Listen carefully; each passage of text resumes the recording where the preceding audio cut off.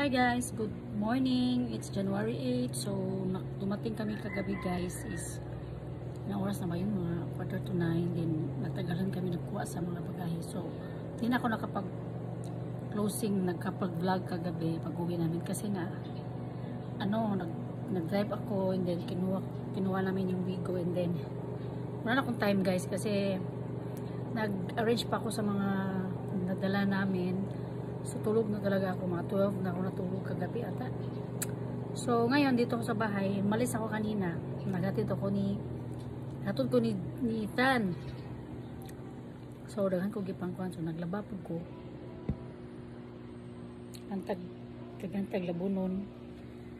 Then, nalimpyo na ko sa gawa. So, um, dili sa sulod pa ko galimpyo. So, muna to, um, manamo ang vacation sa Cavite and Thank you Kuya Easy and Kuya GK sa bakasyon.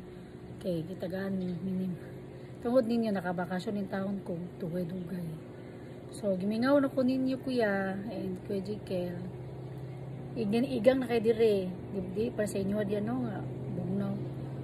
Lang, back to normal na po ko, back to reality. Love you, Dak. Love you, Kuya AC, Kuya uh, GK. Love you. Ampi mo diya ka nung night.